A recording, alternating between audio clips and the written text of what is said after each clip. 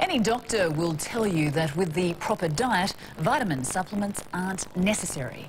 But we all use the excuse that we don't have a proper diet and pop the pills without thinking. At best, we don't need extra vitamins. At worst, they could actually do harm. Consumer reporter Helen Wellings reports.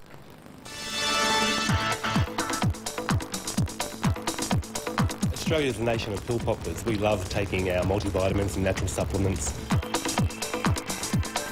If you're not choosing the right multivitamin for your needs, you could be wasting your money.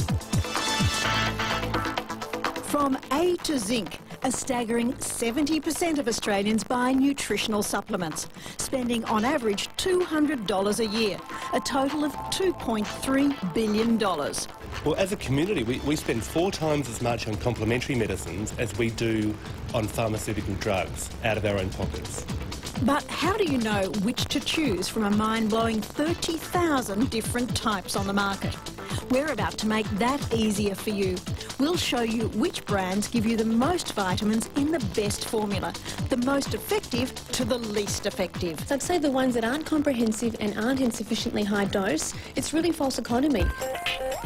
We've uncovered an extraordinary scientific analysis by a team of Canadian and US biochemists, leaders in research on nutritional supplements. They've thoroughly examined over a hundred leading multivitamins available in Australia. They've evaluated and compared their formulations by separating and measuring each ingredient, vitamins, minerals, antioxidants and other components.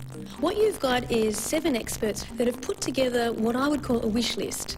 In other words, a list of ingredients that they believe would be the ultimate to have in a multivitamin. How absorbable the vitamins were, the, the range of vitamins and minerals that were in the, in the tablet, and whether they're in the appropriate amounts and the appropriate forms. Dr Marc Cohen, Professor of Complementary Medicine at RMIT, and Dr Lesley Braun, pharmacist and naturopath from the National Herbalists Association of Australia, are authors of Herbs and Natural Supplements. We showed them this latest comparison of multivitamin products, which scores brand by brand. It's really important when you look at a vitamin supplement that not only have you got all the key ingredients, but you've got them in the right combinations. They say the absolutely perfect multivitamin tablet would be a huge polypill the size of a walnut. But Professor Cohen says we should be aiming for this. The full range of um, vitamins, for example. So vitamin A, the, the, full range of vitamin Bs, and B should be done in a complex, not just you know, one or two of the, v, of the B vitamins. Um, certainly vitamin C, and a range of minerals. So, the results. First, the final top five scorers. Remember, they're rated against an ideal multivitamin pill. Best, USANA Health Sciences Essentials scores a very high 74%, followed by Solgar Omnium at 57, Thorne Research Al's Formula 47, Clinicians Vitamin and Mineral Boost 45, and NFS Nutraceuticals Ultimate Sports Multi 44. But you won't find them at supermarkets or pharmacies. Most are available online, some through naturopaths and herbalists.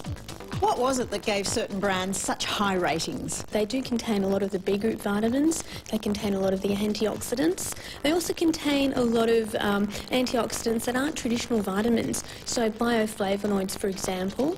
Bottom of the list, unbelievably, some of our top supermarket and pharmacy brands. Myadec and Nature's Own multivitamins and minerals, both with just 2.4.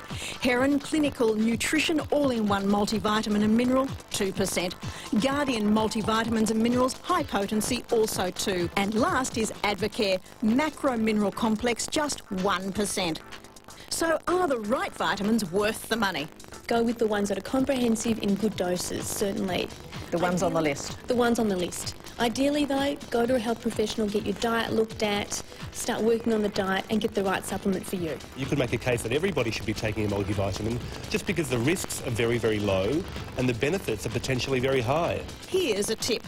Don't waste your money taking multivitamins with a cup of tea. Best way is in the morning with breakfast and a big glass of water. It's not a good idea to take it with tea because the tannins in the tea bind the iron. You won't get the absorption of the iron. Don't take it with tea? Not with tea water.